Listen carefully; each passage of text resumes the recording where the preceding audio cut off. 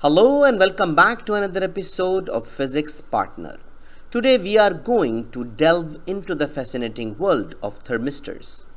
A thermistor is a type of resistor whose resistance changes significantly with temperature.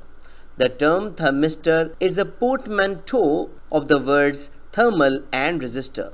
There are two main types of thermistors, positive temperature coefficient which is called PTC and negative temperature coefficient NTC. Uh, let's start with the negative temperature coefficient or NTC thermistor.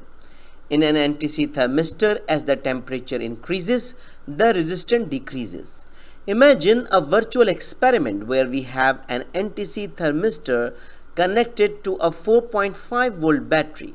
We also have a digital thermometer, wire gauze, a tripod stand, a container with water and an iron stand. At 0 degrees Celsius, the resistance of the thermistor is 200 ohms and the current is 30.60 milliamperes. As we gradually increase the temperature, the resistance decreases, reaching its minimum at 100 degrees Celsius.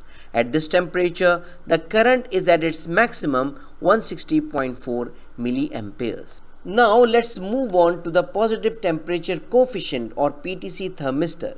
In a PTC thermistor, as the temperature increases, the resistance also increases. In a similar setup as before, but this time with a PTC thermistor, a 0 degrees Celsius, we have the least resistance and the current is 161.2 milliampere. As we increase the temperature to 100 degrees Celsius, the resistance increases to approximately 240 ohms and the current decreases to 21.56 milliampere. The virtual experiment with the negative temperature coefficient thermistor demonstrated a significant decrease in resistance as temperature increases while the positive temperature coefficient thermistor showed an increase in resistance with rising temperature. Thermistor have a wide range of applications in real life.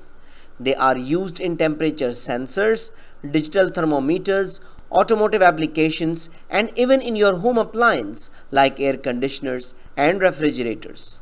The significance of thermistors lies in their sensitivity to temperature changes, which make them incredibly useful in various fields. So I think it's enough for today. So thank you very much for listening and watching. I hope you enjoyed the video. I hope this video is useful for you.